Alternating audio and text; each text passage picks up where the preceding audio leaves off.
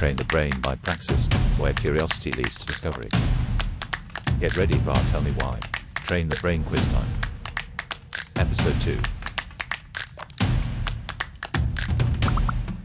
Why do we dream? To plan for the future. To escape reality. To process emotions and memories.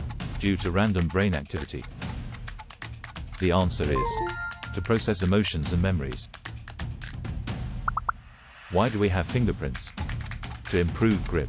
Due to genetic mutation. To regulate body temperature. To aid in identification. The answer is to aid in identification. Why do we hiccup?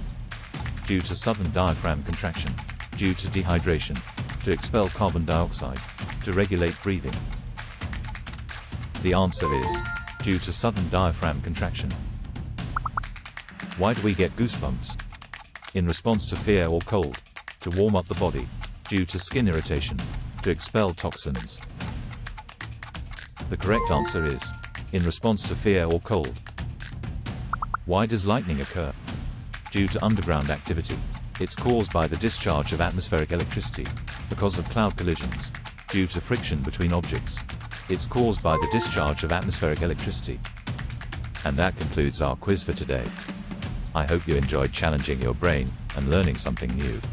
Don't forget to subscribe to our channel and hit the notification bell to stay updated on our latest episodes. Thanks for joining us on Train the Brain by Praxis. Until next time, keep on learning and exploring.